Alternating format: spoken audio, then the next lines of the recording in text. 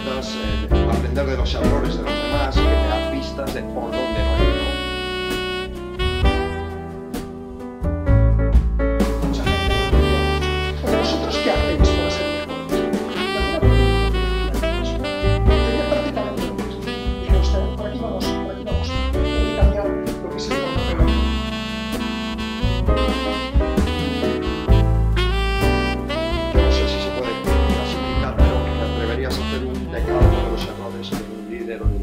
equipos jamás deben